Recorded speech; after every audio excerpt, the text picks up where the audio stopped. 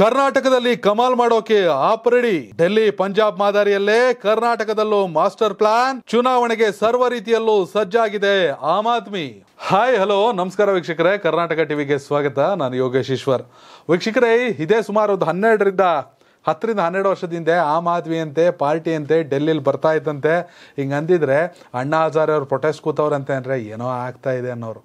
ಆದರೆ ಸದ್ಯ ದೆಹಲಿಯಲ್ಲಿ ಸತತವಾಗಿ ಎರಡನೇ ಬಾರಿಗೆ ಯಶಸ್ವಿಯಾಗಿ ಆಡಳಿತವನ್ನು ನಡೆಸ್ತಾ ಇರೋದು ಅರವಿಂದ್ ಕೇಜ್ರಿವಾಲ್ ನೇತೃತ್ವದ ಆಪ್ ಸರ್ಕಾರ. ದೆಹಲಿ ಕಾರ್ಪೊರೇಷನಲ್ಲಿ ಕೂಡ ಅವ್ರು ಕಮಾಲ್ ಮಾಡಿದ್ರು. ನಂತರದಲ್ಲಿ ಪಂಜಾಬ್, ಪಂಜಾಬ್ನಲ್ಲಿ ಕೂಡ ಸ್ವತಂತ್ರವಾಗಿ ಆಮ್ ಆದ್ಮಿ ಪಕ್ಷ ಅಧಿಕಾರವನ್ನು ನಡೆಸ್ತಾ ಇದೆ.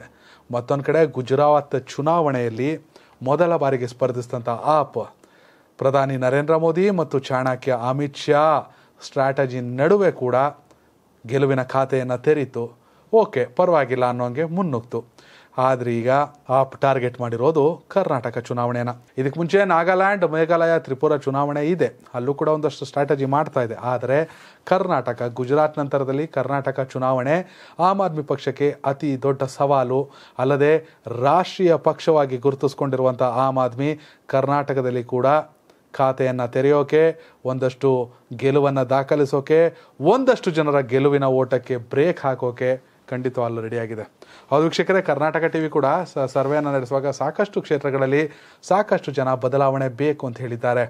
ಬದಲಾವಣೆ ಬೇಕು, ರಾಷ್ಟ್ರೀಯ ಪಕ್ಷಗಳು ಸಾಕಾಗಿದೆ ಅಂದರೆ ಬಿ ಜೆ ಪಿ ಕಾಂಗ್ರೆಸ್ ಸಾಕಾಗಿದೆ. ಹೀಗಾಗಿ ನಾವು ಬದಲಾವಣೆಯನ್ನು ತರಬೇಕು ಅಂತ ಬಯಸ್ತಾ ಇದ್ದೀವಿ ಅಂತ. ಇದೀಗ ಬರ್ತಿರುವಂಥ ಮಹತ್ವದ ಮಾಹಿತಿ ಅಂದರೆ ಕರ್ನಾಟಕದ ಎಲ್ಲ ಇನ್ನೂರ ಇಪ್ಪತ್ತ ನಾಲ್ಕು ಕ್ಷೇತ್ರಗಳಲ್ಲಿ ಕೂಡ ಆಮ್ ಆದ್ಮಿ ತನ್ನ ಅಭ್ಯರ್ಥಿಯನ್ನು ಕಣಕ್ಕಿಳಿಸೋಕೆ ಸಜ್ಜಾಗಿದೆ. ಹೌದು ವೀಕ್ಷಕರೇ, ಖಂಡಿತವಾಗ್ಲೂ ಕೂಡ ಒಂದಷ್ಟು ಜನ ಪ್ರಜ್ಞಾವಂತರು, ಒಂದಷ್ಟು ಜನ ಬದಲಾವಣೆಯನ್ನು ಬಯಸುವಂಥರು ಒಂದಷ್ಟು ಜನ ವಿದ್ಯಾವಂತರು, ಒಂದಷ್ಟು ಜನ ಜನಬಲ ಇರುವಂಥವ್ರು ಒಂದಷ್ಟು ಜನ ಹಣಬಲ ಇದ್ದರೂ ಕೂಡ ಶುದ್ಧ ಹಸ್ತರು ಯಾವುದೇ ಕಾಂಟ್ರವರ್ಸಿ ಇಲ್ದಿರೋರು ಆಮ್ ಆದ್ಮಿ ಪಕ್ಷವನ್ನು ಜಾಯ್ನ್ ಆಗ್ತಾ ಇದ್ದಾರೆ. ಆಮ್ ಆದ್ಮಿ ಪಕ್ಷ ಇನ್ನೂರ ಇಪ್ಪತ್ನಾಲ್ಕು ಕ್ಷೇತ್ರಗಳಲ್ಲಿ ಕೂಡ ಕಣಕ್ಕಿಳಿಯೋಕೆ ಸಜ್ಜಾಗಿದೆ. ಆಮ್ ಆದ್ಮಿ ಪಕ್ಷ ಇನ್ನಷ್ಟೇ ಮುಖ್ಯಮಂತ್ರಿ ಅಭ್ಯರ್ಥಿಯನ್ನು ಘೋಷಿಸಬೇಕಿದೆ.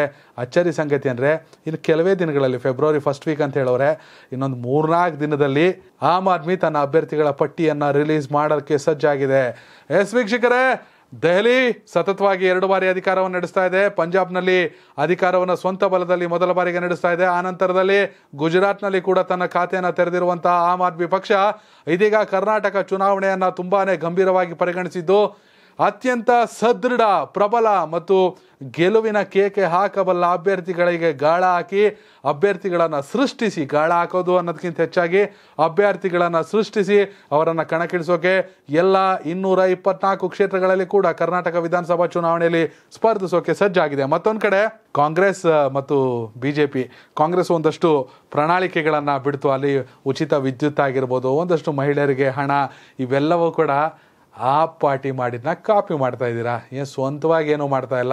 ಆಮ್ ಆದ್ಮಿ ಪಕ್ಷ ದೆಹಲಿಯಲ್ಲಿ ಮತ್ತು ಪಂಜಾಬ್ನಲ್ಲಿ ಮಹಿಳೆಯರಿಗಾಗಿ ಏನು ವಿಶೇಷ ಸೌಲಭ್ಯಗಳನ್ನು ಕೊಡ್ತು? ಅಲ್ಲದೆ ವಿದ್ಯುತ್ ಮತ್ತು ಕುಡಿಯೋ ನೀರಿನ ವಿಚಾರದಲ್ಲಿ ಏನಷ್ಟು ಸೌಲಭ್ಯಗಳನ್ನ ಕೊಡ್ತು? ಉಚಿತವಾಗಿ ಅದು ನೀವು ಮಾಡಕ್ಕೆ ಹೊರಟಿದ್ದೀರಾ ನಿಮ್ಮ ಮ್ಯಾನಿಫೆಸ್ಟೋದಲ್ಲಿ ಏನಾದ್ರು ಹೊಸ್ತೇನಾರು ಇದೆಯಾ? ಹೊಸ ಐಡಿಯಾ ನಿಮ್ಮ ತಲೆಯಲ್ಲಿ ಇದೆಯಾ? ಹೊಸ್ತೇನಾದ್ರು ಬಿಟ್ಟಿದ್ದೀರಾ? ಇಲ್ಲ. ಆಮ್ ಆದ್ಮಿಯ ಪ್ರಣಾಳಿಕೆಯ ಯಶಸ್ವಿ ಪ್ರಣಾಳಿಕೆಗಳನ್ನೇ ಮುಂದುವರ್ಸೋಕೆ ನೀವು ಹೋಗ್ತಾ ಇದ್ದೀರಾ?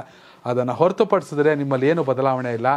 ಹೀಗಾಗಿ ಆಮ್ ಆದ್ಮಿ ಕೊಡುವಂಥ ಸೌಲಭ್ಯಗಳನ್ನ ನಿಮಗೆ ನಿಮ್ಮನ್ನ ನೋಡ್ಕೊಂಬಂದವ್ರು ಇಷ್ಟು ವರ್ಷದಿಂದ ನಿಮಗೆ ಯಾಕೆ ಓಟ್ ಹಾಕಬೇಕು? ನಮ್ಗೆ ಓಟ್ ಹಾಕ್ತಾರೆ ಜನ ಅನ್ನೋ ನಂಬಿಕೆ, ಒಂದು ವಿಶ್ವಾಸ ಆಮ್ ಆದ್ಮಿಯದ್ದು. ಖಂಡಿತ ಆಮ್ ಆದ್ಮಿ ಗೆದ್ದು ಬಿಡುತ್ತೆ, ಬಹುಮತ ಇಲ್ಲ. ಅಸಾಧ್ಯ ಅಸಾಧ್ಯ. ಆದರೆ ಎಷ್ಟೋ ಜನರ ಗೆಲುವಿಗೆ ಬ್ರೇಕ್ ಹಾಕೋದ್ರಲ್ಲಿ ಆಮ್ ಆದ್ಮಿ ಪಕ್ಷ ಖಂಡಿತವಾಗ್ಲೂ ಹಿಂದೆ ಬಿದ್ದಿಲ್ಲ. ಆಮ್ ಆದ್ಮಿಗೆ ವರ್ಚಸ್ಸಿದೆ ಕರ್ನಾಟಕದಲ್ಲಿ ಕೂಡ ಜನ ಬದಲಾವಣೆಯನ್ನು ಬಯಸ್ತಾ ಇದ್ದಾರೆ. ಆದರೆ ವೋಟ್ ಶೇರಿಂಗ್ನಲ್ಲಿ ಎಷ್ಟರ ಮಟ್ಟಿಗೆ ಅದು ವೋಟ್ ಆಗಿ ಕನ್ವರ್ಟ್ ಆಗುತ್ತೆ? ಎಷ್ಟು ಕ್ಷೇತ್ರಗಳಲ್ಲಿ ಗೆಲುವನ್ನು ದಾಖಲಿಸುತ್ತೆ? ಖಂಡಿತ ಆಮ್ ಆದ್ಮಿ ಕರ್ನಾಟಕದಲ್ಲಿ ಕೂಡ ಗೆಲುವಿನ ಖಾತೆಯನ್ನು ತೆಗೆದೇ ತೆಗೆಯುತ್ತೆ. ಕೆಲ ಕ್ಷೇತ್ರಗಳಲ್ಲಿ ಆಮ್ ಆದ್ಮಿಯ ಅಭ್ಯರ್ಥಿಗಳು ಬಲಿಷ್ಠರಾಗಿದ್ದಾರೆ. ಇಂಥ ಸಂದರ್ಭದಲ್ಲಿ ಆಮ್ ಆದ್ಮಿ ಪಕ್ಷ ಕೆಲವು ಕ್ಷೇತ್ರಗಳನ್ನು ಗೆಲ್ಲೋದ್ರ ಜೊತೆಗೆ ಮತ್ತು ಕೆಲ ಕ್ಷೇತ್ರಗಳಲ್ಲಿ ಗೆಲ್ಲೋ ಅಭ್ಯರ್ಥಿಗಳ ಕನಸಿಗೆ ಬ್ರೇಕ್ ಹಾಕೋದ್ರಲ್ಲಿ ಯಾವುದೇ ಅಚ್ಚರಿ ಇಲ್ಲ. ಈ ಕುರಿತು ಬೆಂಗಳೂರಿನಲ್ಲಿ ಮಾತನಾಡಿರುವಂಥ ಆಮ್ ಆದ್ಮಿ ಪಕ್ಷದ ಮುಖಂಡರಾದ ಅತೀಶಿ ಅವರು, ಖಂಡಿತವಾಗಲೂ ಕಾಂಗ್ರೆಸ್ ಆಗಲಿ ಬಿ ಜೆ ಪಿ ಆಗಲಿ, ಆಮ್ ಆದ್ಮಿ ಪ್ರಣಾಳಿಕೆಗಳನ್ನು ಡೆಲ್ಲಿ ಮತ್ತು ಪಂಜಾಬ್ನಲ್ಲಿರುವಂಥ ಆಮ್ ಆದ್ಮಿ ಯಶಸ್ವಿ ಪ್ರಣಾಳಿಕೆಗಳನ್ನ ಕಾಪಿ ಮಾಡಿ ಹೆಸರು ಚೇಂಜ್ ಮಾಡಿಬಿಡ್ತಾವ್ರಷ್ಟೇ ಮತ್ತೇನಿಲ್ಲ. ಹೀಗಾಗಿ ನಿಮ್ಮ ಆಡಳಿತ ನೋಡಾಗಿದೆ, ಜನ ನಮಗೆ ಓಟ್ ಹಾಕಿ ಹಾಕ್ತಾರೆ ಅನ್ನೋ ನಂಬಿಕೆಯಲ್ಲಿದ್ದಾರೆ, ವಿಶ್ವಾಸದಲ್ಲಿದ್ದಾರೆ. ಖಂಡಿತ ಆಮ್ ಆದ್ಮಿ ಒಂದಷ್ಟು ಇಂಪ್ಯಾಕ್ಟ್ ಮಾಡೋದಂತೂ ಗ್ಯಾರಂಟಿ ವೀಕ್ಷಕರ, ನಿಮ್ಮ ಪ್ರಕಾರ ಆಮ್ ಆದ್ಮಿ ಪಕ್ಷ ನಿಜಕ್ಕೂ ಕೂಡ ಡೆಲ್ಲಿ ಮತ್ತು ಪಂಜಾಬ್ ರೀತಿಯಲ್ಲಿ ಕರ್ನಾಟಕದಲ್ಲಿ ಕೂಡ ಬರಬೇಕಾ? ಎಷ್ಟು ಕ್ಷೇತ್ರಗಳನ್ನ ಗೆಲ್ಲಬಹುದು ನಿಮಗೂ ಕೂಡ ಬದಲಾವಣೆ ಬೇಕು ಅನ್ನಿಸ್ತಿದೆಯಾ? ನಿಮ್ಮ ಅಭಿಪ್ರಾಯವನ್ನು ಕಾಮೆಂಟ್ ಮಾಡಿ. ಹಾಗೆ ಮುಂಬರುವ ವಿಧಾನಸಭಾ ಚುನಾವಣೆಯಲ್ಲಿ ಯಾವ ಪಕ್ಷ ಅಧಿಕಾರಕ್ಕೆ ಬರಬೇಕು, ಯಾರು ಸಿ ಎಂ ಆಗಬೇಕು ಅನ್ನೋದನ್ನು ತಿಳಿಸಿ. ಧನ್ಯವಾದಗಳು.